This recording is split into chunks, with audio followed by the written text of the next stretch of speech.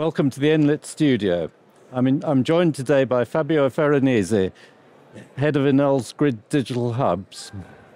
Welcome, Fabio. Hi, Jonathan. And Enel has a strong record, a long track record in digitalization. And can you talk us briefly through that journey and what the next steps are? Yes, very briefly. Uh, I, I, just remember the days when we started working at the first uh, massive uh, remote metering system. It was almost the last century. So from there, a lot of times passed. But um, going very quickly onwards, uh, I think that some key milestones were our full migration to the cloud, which took place five years ago. Then the adoption of new architecture standards based on microservices to exiting the, the silos era. And then eventually envisaging the idea of um, digital twin concept and uh, ending uh, um, coming to the recent year with a new vision of uh, software development for energy company based on a platform approach, which uh, allows from one side to leverage on the new coming technology, name it drones, uh, IoT, AI, what you name it, but also on different stakeholders and different uh, partners. The, the idea is to create an ecosystem so that things can be done quickly and together. And and one of those new innovations is is the metaverse, and I believe Enel calls it the gridverse. So what what do you mean by that? It is a strange word, maybe even difficult to pronounce for somebody. But the idea is that uh, we are again at a tipping point of technology. So we have uh, many energy company, manufacturer company have. Uh, um, generated and a big expertise uh, on the concept of digital twins. So we have digital twins for turbines, for plants, for networks. I mean, electric network and things like this. Mm. And on the other hand, we also have gained a lot of experience on the collaboration. We are coming from a social era um, so we, we know what it is, uh, what it means by collaborating on network platform, on social platform, things like this.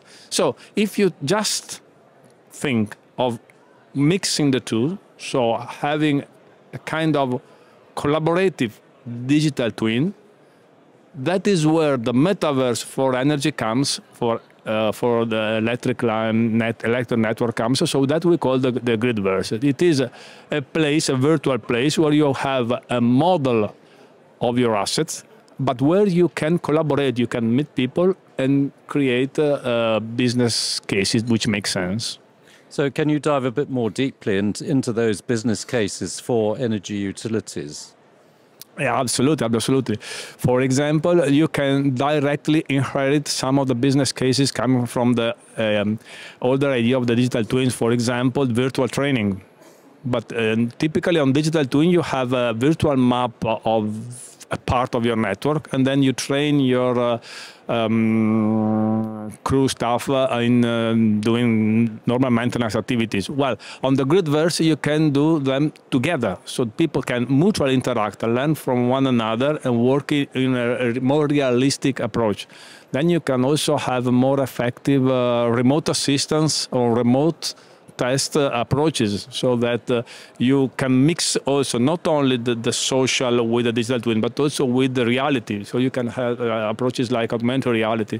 And pushing further with that approach, you can think about next level engineering approaches where you can even um, think of a collaborative design of secondary substation and things like this. And if you go still further, you think if you adopt our idea of the gridverse, which is an open metaverse based on standard description of data and standard data exchange, you can also think of inter inter DSO scenarios so that you can, for example, uh, run benchmark through different energy di distributed system operator and also facilitating the interaction between DSOs. So it is a kind of a, a community of the future based uh, on the virtual world which is based on the grid. So it's that going to rev revolutionize the, the utility industry then? I, I, really hope so. Thank you for your uh, uh, input, Fabio. It was, uh, you're more than welcome. For more insights into the industry, tune into our, our Enlit channels on enlit.world. Thank you.